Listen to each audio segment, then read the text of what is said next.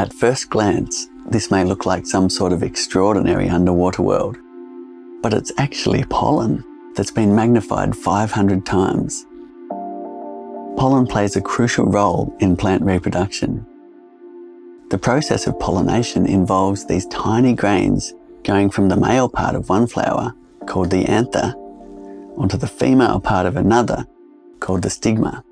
When this happens, the genetic information contained inside the pollen is transferred from flower to flower. So pollination is basically the way that plants make babies. Because they can't move around much when it comes to dating, flowers usually need help from their environment. Pollen grains can travel on the wind or in the water, but they usually spread through collaboration with other living creatures, such as insects, birds, lizards, and even some mammals. Here's a honeybee visiting a flower. The tiny pollen grains stick to their hairy bodies very easily. This allows them to pollinate up to 5,000 flowers in a single day. Flowers and bees have evolved together over millions of years. And plants have developed many ways of attracting bees in order to make use of their pollen transportation services. And the most common way is to provide a drink of sweet nectar for the visitors. Most plants make their nectar easily available. However, some have designed much more complex dating strategies. For example, one type of South American orchid temporarily traps its guests and glues pollen onto their backs.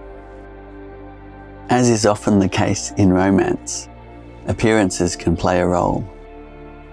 The beautiful shapes and colours of flowers evolved so they could grab the attention of passing pollinators. This bee can tell where nectar is to be found by looking out for colours that catch her eye. Bees can see ultraviolet light, and some flowers have UV nectar guides. These are like bullseyes that are invisible to us, but stand out vividly to bees. There are also other ways to entice pollinators. Some flowers look and smell like bees, so that when an eager male lands in hope of mating, he ends up with pollen stuck to him. The more we learn about pollination, the more weird and wonderful it becomes. And here's something really interesting. Every flower produces a unique electromagnetic field according to its shape and its height above the ground. When a bee comes close enough, these minute fields cause tiny hairs on her body to bend. So she can actually sense flowers that are a few body lengths away from her. What's more, the electric charge can also cause pollen to jump right off the flower onto the bee before she even lands on it. Pollination is so important to us because we humans depend on plants.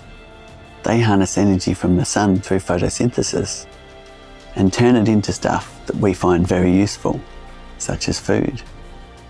In fact, it's estimated that one out of every three bites that we eat is made possible by pollinators. Isn't it extraordinary that this process involves so many different things, combining in such an intricate way? The sunlight, the rain, the flowers, the birds, the bees, and you, the beekeeper.